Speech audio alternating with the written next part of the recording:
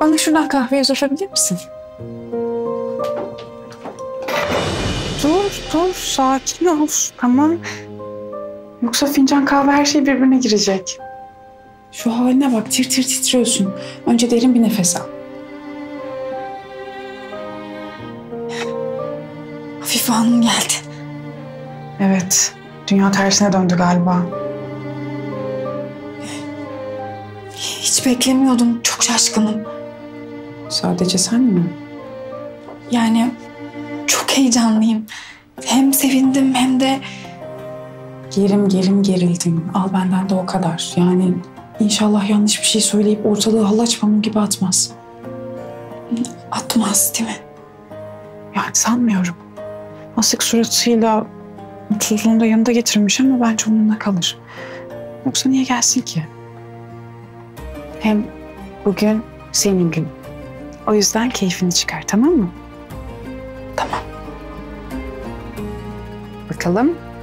Ellerinde titremiyor. O zaman kahve yapmaya hazırsın. Hadi. Hadi bismillah. Ben kaşık çıkartayım.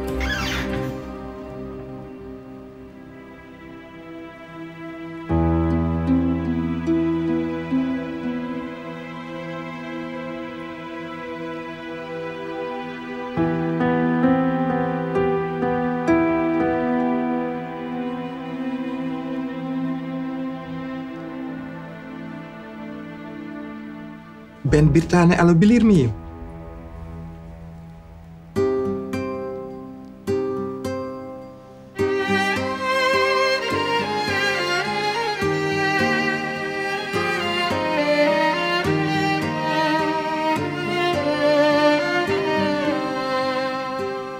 Sağ ol prensesim benim. Sıhhat ve afiyettesinizdir inşallah. Teşekkür ederim iyiyim çok şükür. Bazen daralıyoruz tabii. O ayrı. Böyle güzel günlerde ferahlıyoruz ama değil mi? O minik cezve ne için? Ee, abin için. Kafeinsiz Türk kahvesi. Aa öyle bir şey mi varmış? Var. Her yerde bulunmuyor. O yüzden yanımda getirdim. Vallahi abim 40 yıl arası senin gibi birini bulamazdı herhalde. Ha bence abimin kahvesi hazır. Taşmadan alalım.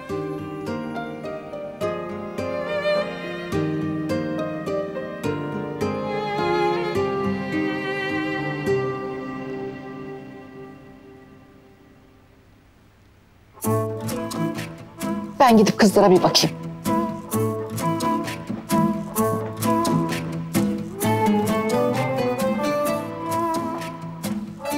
Kahveler oldu mu?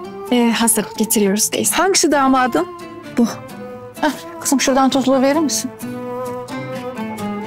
Ha, tamam. Teyze ne yapıyorsun? Aa, damat kahvesi tuzlu olur. Adettendir. Tuzlu kahve mi içilir ama bu zehir gibi nasıl içsin? Bal gibi içilir, bal gibi içilir. Eğer damat gelini seviyorsa paşa paşa içer. Adet böyle. Ama teyze Kayınvalideye de acı biberli kahve lazım ama neyse.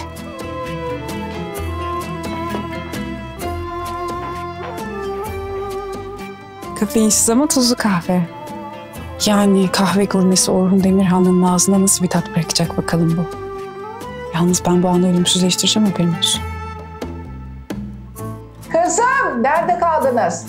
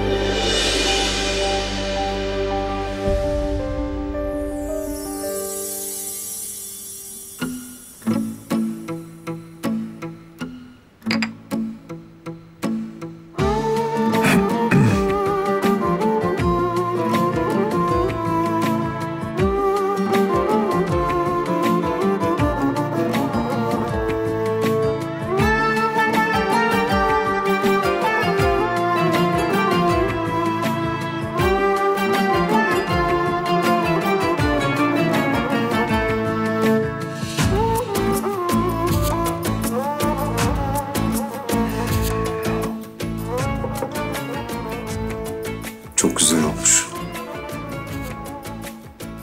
Tadı tuzu da tam yerinde. Eline sağlık.